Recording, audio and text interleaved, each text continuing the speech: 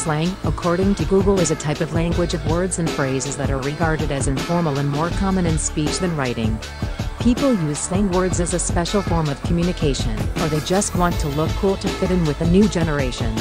Speaking of the new generation, I want to rant on today's slang. Oh boy, I just recently read some comments on social media and honestly most of them were so fucking cringe to the point I wanna smash myself against a fucking brick wall. One of the comments went by, L bozo ratio or whatever nonsense that was. I swear that person might be speaking another language cause that person was definitely not speaking English.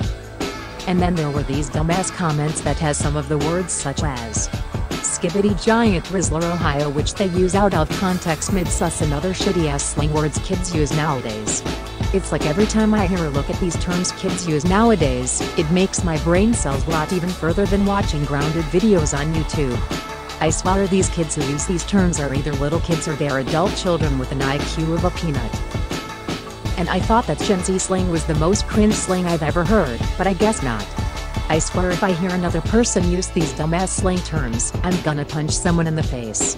Anyways, this is Arial Sky 2596 signing out, peace.